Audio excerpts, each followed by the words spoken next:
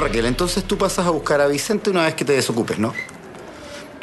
No, lo que quiero decir es que yo lo llevo a la casa cuando yo me desocupe. sí, eh, claro, voy a llevar todo lo que tú me pidas, Raquel. No, ningún... ¿En qué está Vicente? En este momento Vicente está haciendo sus deberes escolares. Sí, acá está sentado en mi escritorio. Te informo inmediatamente, Raquel. Está haciendo una tarea sobre el Kama Sutra. El eh, Kama Sutra... Raquel, tengo que cortar porque tengo una misión muy importante. Cierra inmediatamente ese computador. ¡Cierra! Coronel, ¿se podría saber qué hace este civil aquí en esta oficina? El civil aquí en mi oficina general es mi sobrino Vicente, que lo estoy cuidando por unos días. El sobrino Vicente, Vicente.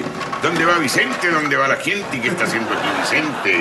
Eh, En este momento le está haciendo sus tareas, mi general. Las tareas de Vicente. Acá. Ahí están imprimiéndose las tareas de Vicente, general. Sí. Bueno, la verdad es que interesante. A, a mí e- esta me gusta. mí. Me, me gusta esta postura. Esto es como el Kama Sutra. Pero, que esto es un ejemplo. Un ejemplo de cómo esta agencia se preocupa por el futuro de la juventud de este país. ¿Qué va a hacer cuando grande soldado? Quiero ser astronauta y servir a la patria como mi capitán Parra General. Parece que está un poco confundido, Vicente. No. Ay, ¿Por qué como Parra Porque él tiene polola, general. tiene polola Parra? General, yo creo que es un poco temprano para empezar a hablar de cosas desagradables. ¿Usted tomó desayuno? Tiene Sí, polola. sí. Es árabe y se pasea media pilucha por toda la casa. Media pilucha Yo no he tomado desayuno. Si usted me invita al Sí. desayuno, usted me lo Yo- paga. Encantado de ir. Eh, perdón, eh, ¿usted sabía esto, lo de Parra? Eh, Primera información que tengo, general. Ni siquiera sé si es árabe, si es una muchacha, no tengo idea de nada. no General, puede ser terrorista. General, el ministro de Defensa de Ruanda le informa que sobre el territorio ruandés han caído restos de un satélite chileno. Así que la novia del capitán Parra tiene más de 60 años, coronel. General, ¿qué le informó al eh, ministro? Respóndame lo que le pregunté, coronel. Afirmativo, general. La información es correcta, pero... General, le tengo que informar que eso no, no es lo más grave de todo. ¿Hay algo más grave? Lo que pasa, general, es que mi sobrino, el Chicoco, se, se obsesionó con esta mujer. Está obsesionado, la tiene aquí. No se la puede sacar de la cabeza.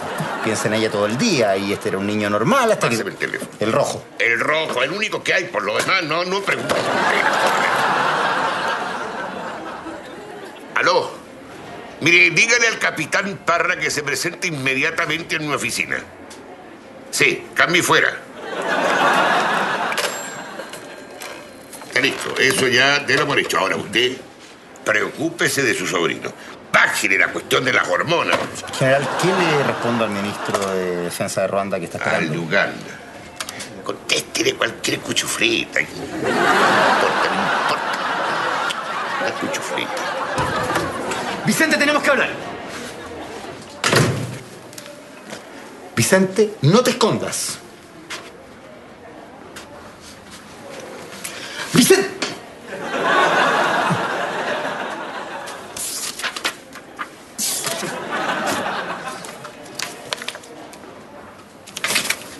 Vicente.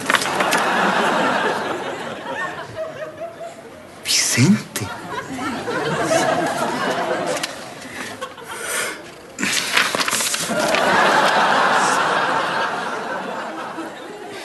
Usted dirá, general. Siéntese.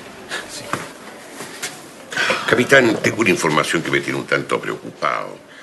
Me informaron que usted mantiene una relación con una dama, digamos, eh, considerablemente mayor que usted. Bueno, general. Yo, yo no lo estoy juzgando, capitán, ni mucho menos.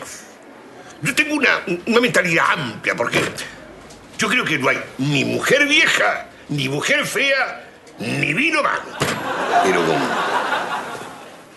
60 años no será como mucho. Ah, no, no, yo no tengo nada con esa mujer, eh, general. No, entonces, menos mal. Eh, Yo le voy a decir una cosa, usted acérquese un poquito más, porque... ¿Está bien? Sí, yo tengo interés en la dama. No porque como no me da interesar, porque eh, esta mujer que ha levantado una polvaridad tan grande debe ser una loba, una, una de estas mujeres que además se observa estupendamente bien.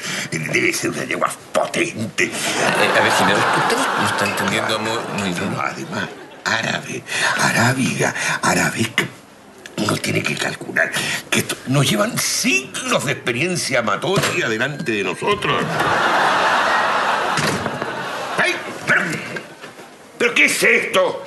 ¿Se podría saber por qué interrumpe la conversación que tengo en privado con el capitán Parra?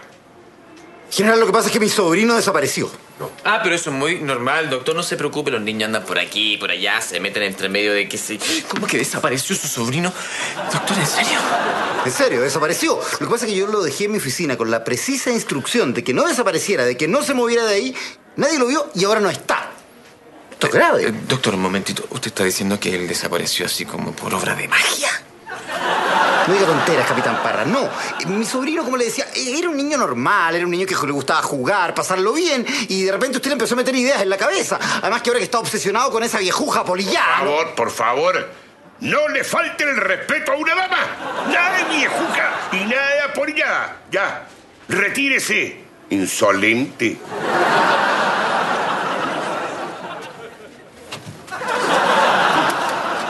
Parra, parra, venga. Bueno, ahí. ¿Me hace la movida?